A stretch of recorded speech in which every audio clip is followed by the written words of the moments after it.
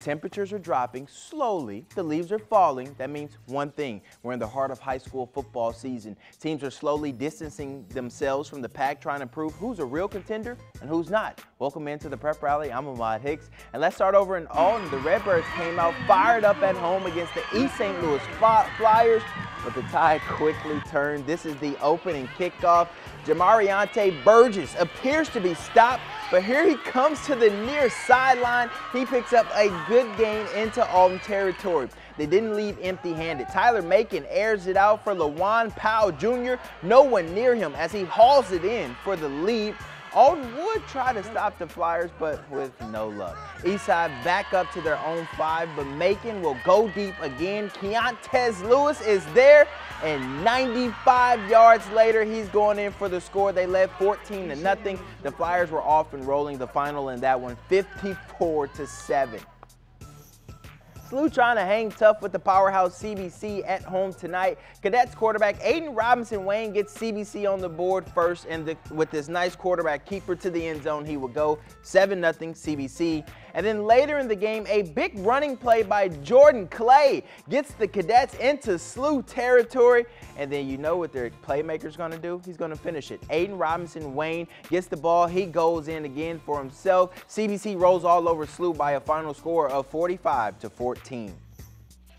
St. Dominic traveling to St. Mary's taking on the Dragon Sweet uniforms there. St. Mary's quarterback Cameron McCoy connects with Kevin Coleman who does the rest. You guys will hear his name a lot on Saturdays in the future. He goes into the end zone, Dragons on top early. Later in that game, it's St. Dominic's quarterback Gabe Siri with the nifty moves to avoid a couple of Dragons defenders, but this big hit from Deshaun Fuller, Siri will leave the game with a nasty ankle injury moments later, and St. Mary's will go on to win 33 to 14.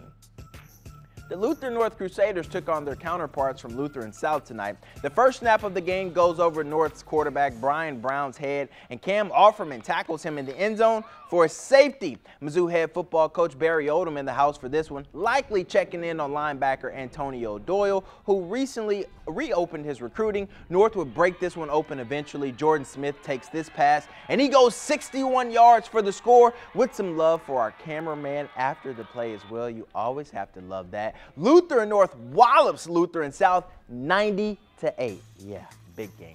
Lindbergh traveling to Marquette to take on the Mustangs. It was a tie game until Chris Craig got the handoff and he showed the Flyers he's not lacking any horsepower. He was off and rolling, turned on the afterburners, and the Stangs would go up 14 to 7 after that score. Watch him hurdle that guy at the end. That's how you finish off the run. Now, after a Flyer punt, Marquette trying to add to their lead when George Williams is picked off by Lindbergh's Aiden Clancy. No worries though. Marquette goes on to win 37 to 14.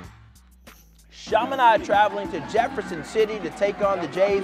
Mizzou commit Brady Cook finding Elijah Griffin early, and then Griffin does the rest. He goes 65 yards to put the Red Devils up over the Jays. And then we'll pick this one up a little later on. It's a Mark Johnson. He takes the handoff from Cook. He's gone. He takes that one to the house. Chaminade goes on to win over Jeff City 50 to 21.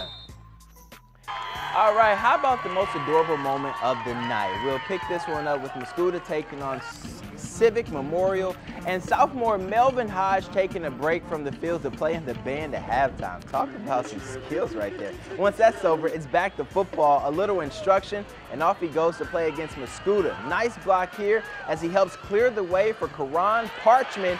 Nice second effort as he goes up for some good yards. The defense were king tonight. The Indians going for it on fourth down, but they can't make connections on the pass. Civic Memorial goes to 4 and 1 as they win 14 to 11. How about the Pioneers of Kirkwood taking on Pattonville? The Pioneers flexing their muscles on defense. The Pirates' Logan Williams trying to find someone down the field when Kirkwood's William Lee sneaks up behind him, strips the ball, and it would set up a nice return for Jason Petty. And then what do you do after you get a turnover? You go score. Moments later, Cannon Neslich, he would be dropping back and he would avoid a little bit of pressure and watch who he finds. The Mizzou commit, Jay Maclin. Tigers all over our highlight tonight. Pioneers Cameron Macon will score moments later and Kirkwood rolls 38 to 17. How about a little rivalry? Clayton taking on Ladue at that beautiful new stadium. This was already 30 to nothing when we showed up, and then Marizan, Mar Marzion Cosby made the gap even wider with this 55-yard score. Look where he left, went out of bounds maybe a few times, but hey, still touchdown, it counts. Rams up 37 and a half, and Ladue's Mel Woodson will add on in the third with this short touchdown run, and Ladue goes on to shut out Clayton 43 to nothing.